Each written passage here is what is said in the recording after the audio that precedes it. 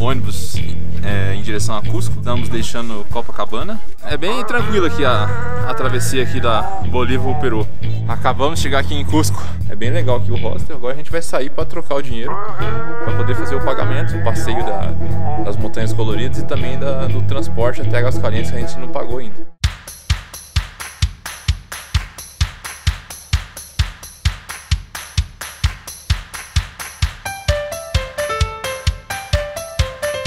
Já deixamos também as roupas ali para lavar, que tipo, eu mesmo já tava sem roupa já. É, eles cobram aqui 4 soles por quilo de roupa. É um valor bem acessível, assim, bem em conta, né? Tipo, vale a pena você não ter o trabalho de lavar sua roupa, tipo, já vem prontinha, né? É, a gente deixou agora de manhã e à tarde ele disse que já vai estar tá pronto. O Max, que é o senhor que nos atendeu aqui, muito simpático ele.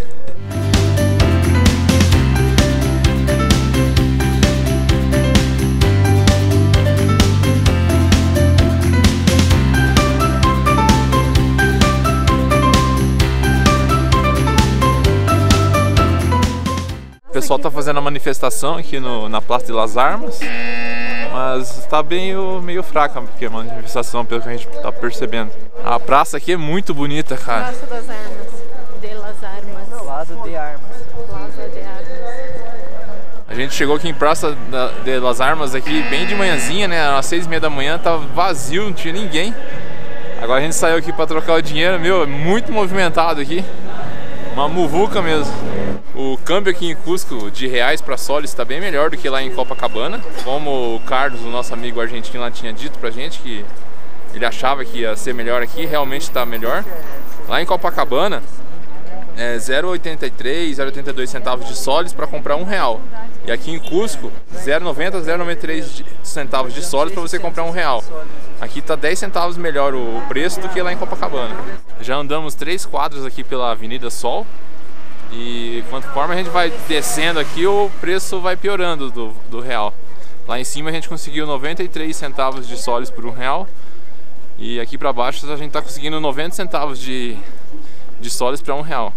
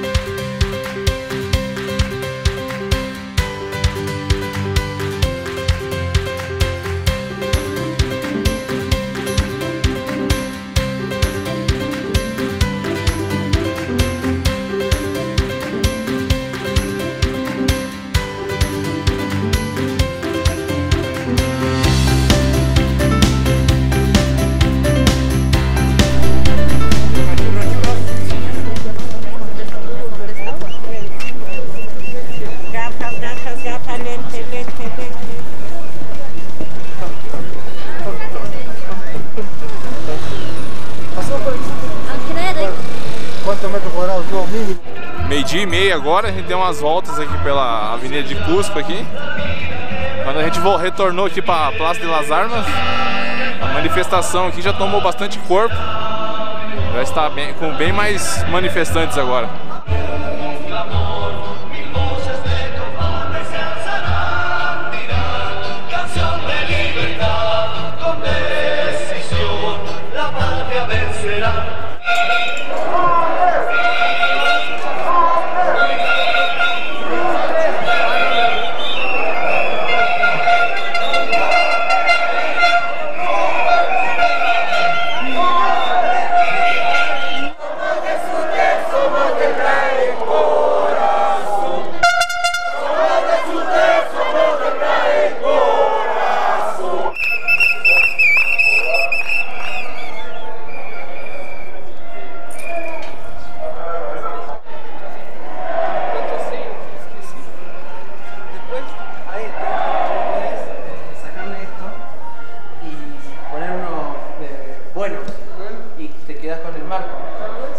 Manifestação engrossou bastante, agora tem bastante gente. E, meu, os caras são muito organizados aqui pra fazer manifestação. Tô de cara aqui. Galera muito bem organizada. Estamos aqui agora na municipalidade de Cusco. Acho que é tipo uma prefeitura aqui pra gente comprar um ingresso pra um ingresso que dá direito a várias atrações, né? um único ingresso. Tem um maior para 14 atrações e tem outro menor para 4 ou 5 atrações, se eu não me engano. O maior custa 130 soles e o menor custa 70 soles.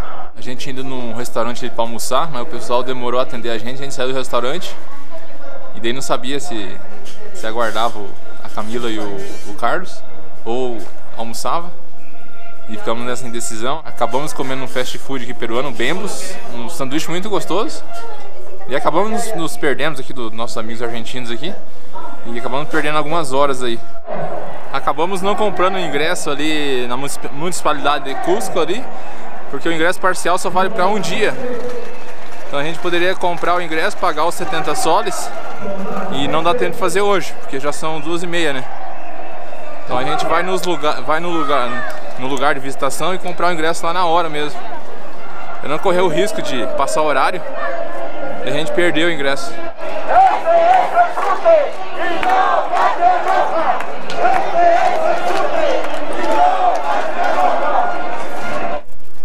uma caminhada cansativa novamente, como sempre, esse turismo pela Bolívia e Peru aqui, chegamos no nosso primeiro ponto de visitação. Aqui em Cusco.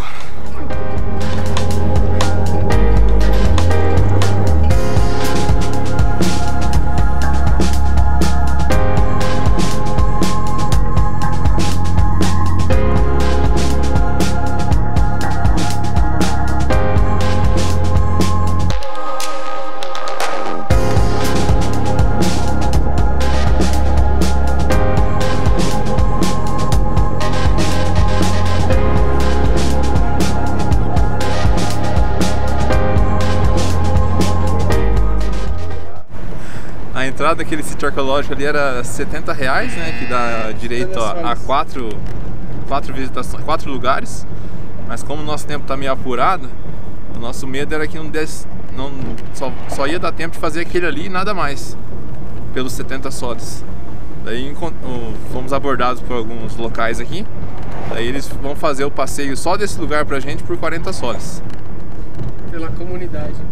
É, que você paga direto para a comunidade esse valor. Eles estão nos levando de carro aqui e disseram que o passeio é feito a cavalo, né?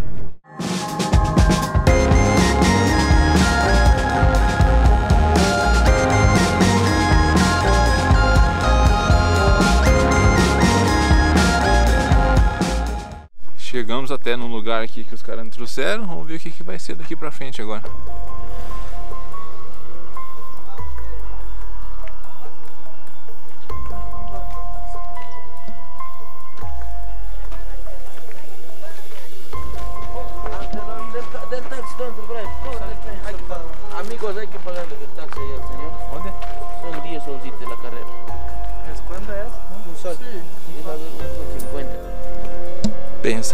Sinistro. Não sei você, você né, eu tô meio com medo.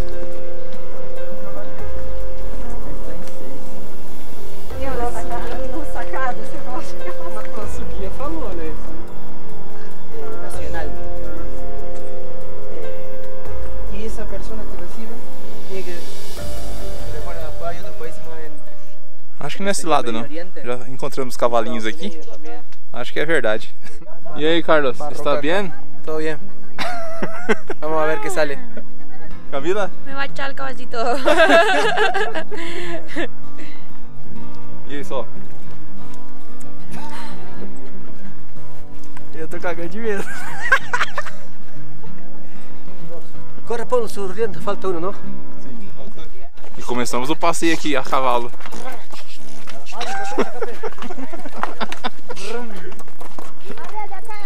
Meu Deus. Pensa num cavalo peidorrento. Meu, tá com pressa, mano.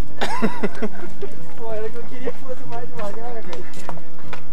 Meu, a subida aqui é muito íngreme. Dá até dó dos cavalos.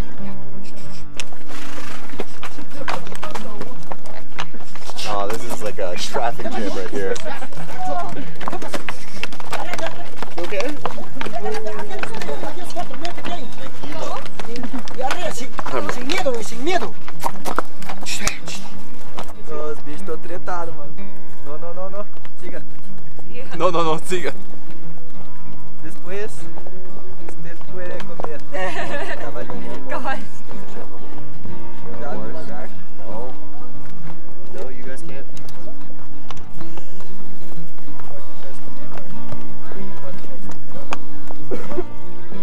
Cavalinhos tá subindo aqui, mas os bichinhos, os bichinhos cansam também, hein? Chegando no final da subida, agora pegamos uma parte de asfalto aqui. Parece que agora que vamos chegar nas ruínas aqui. Olá!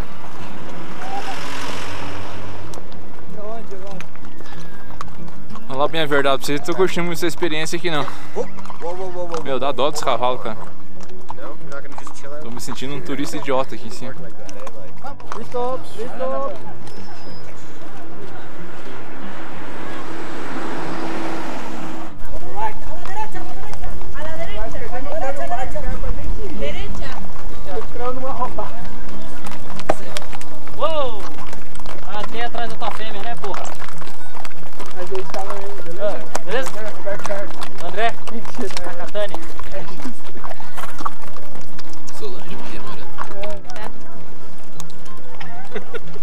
Caballo.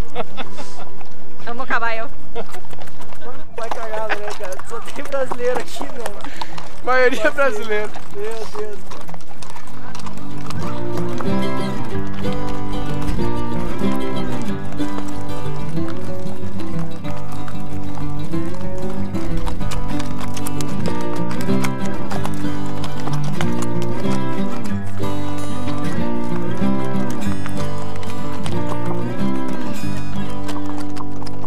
Deixamos os cavalos ali no, no pasto ali, o pessoal pediu pra gente descer.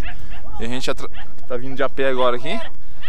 Pra visitar ali o, segundo informaram pra gente, o Templo de la Luna.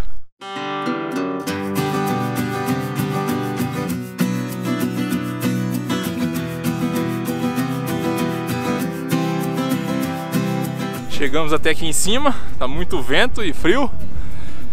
Parece que tem que descer ali pra chegar até no Templo de la Luna. Vamos descer ali pra ver como é que é.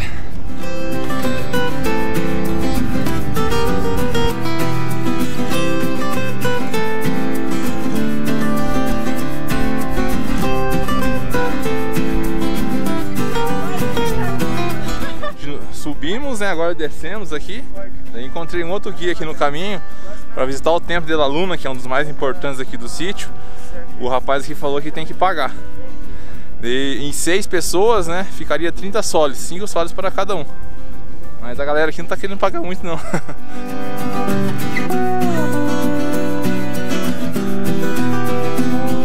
Templo de la Luna fica embaixo dessa, dessa formação rochosa aqui.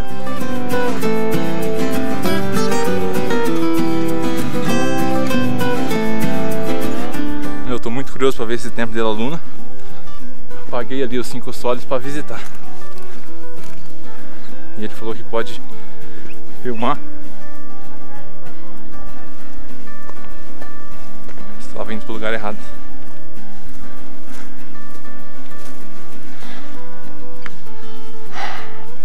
Nossa, olha essas pedras todas esculpidas, cara. Ah, cá está o templo.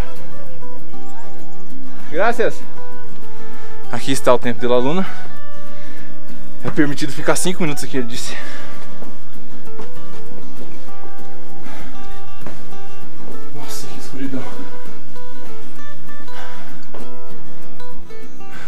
Fenda aqui que quando dá lua cheia, a luz da lua bate aqui e dá numa mesa, cara, esculpida em pedra, cara. Na própria, na própria pedra. Nossa, cara. Os caras abriram uma, um, um túnel na pedra, cara. Isso deve ter demorado muito tempo, cara. É muito incrível, cara. Nossa. Fiquei bem um pouquinho ali no tempo, da, tempo de la Luna. Para não me dispersar do grupo, né? E agora estou seguindo aqui em direção para o Templo del Mono.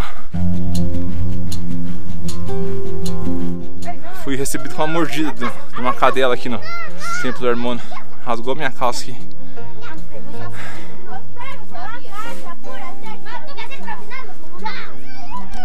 Vamos dar uma volta por aqui.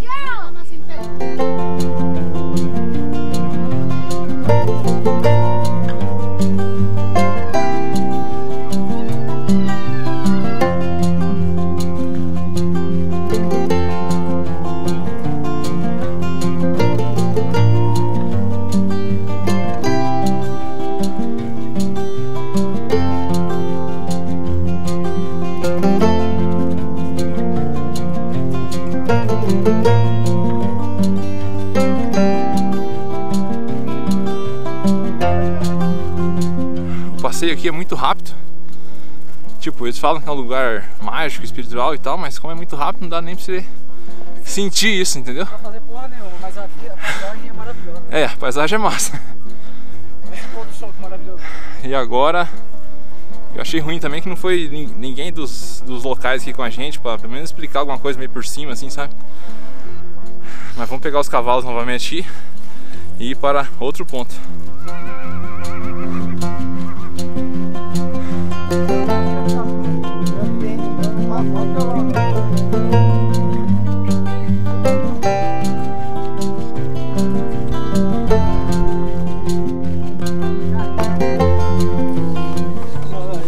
Quase que rasguei a minha calça no arame farpado. Vamos! Vamos! Olha! O Carlos é. Boiadeiro. Não, não, não, não! Outra vez. Você perdeu, você perdeu.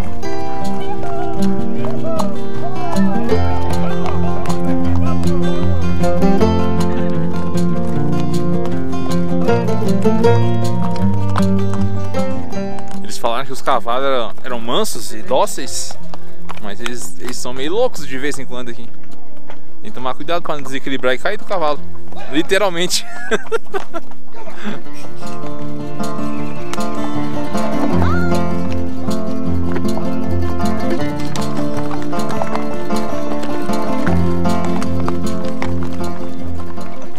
Deixamos os cavalos ali e agora Vol- Agora os burros vão- voltarão a pé. Erra!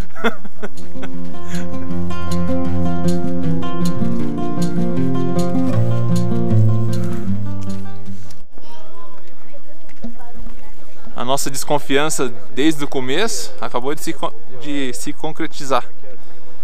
Chegamos aqui para visitar a parte do sítio mesmo, aqui onde tem umas pedras gigantes aqui, formando paredes e tal. O rapaz nos pediu os tickets aqui. O que aconteceu? Aqueles caras que nos venderam esse passeio não, não deu, não, não- nos deu nada. Então realmente era uma cilada. A gente só viu lá aquele templo da Luna, que eu paguei 5 soles para ver, senão ninguém ia ver, senão não daria pra ver. A única coisa que a gente fez foi o passeio a cavalo e visitou o, o, o templo de El El Mono, né? Só. El mono. Então só foi o passeio a cavalo e a visita ao templo Mono por 40 soles. O que a gente pode ver, que é o caminho de volta, essas pedras gigantes aqui, ó. Mas o acesso ao sítio mesmo que tá ali em cima, a gente não pode ter acesso porque a gente não pagou o ticket. Então se f um pouquinho, mas de boa. Se. Saímos aqui do sítio pelo lugar que a gente deveria oficialmente ter entrado, né? Que era aqui, ó. E a gente foi por essa estrada aqui, ó. Então, dica do dia: não aceite esse passeio mais barato de 40 sólidos aqui, que você não vai ter acesso ao sítio arqueológico. Beleza? E assim termina o nosso dia aqui em Cusco. Amanhã vamos levantar de madrugada para ir fazer o trekking lá nas Montanhas Coloridas. Falou, abraço, sucesso e tchau, tchau!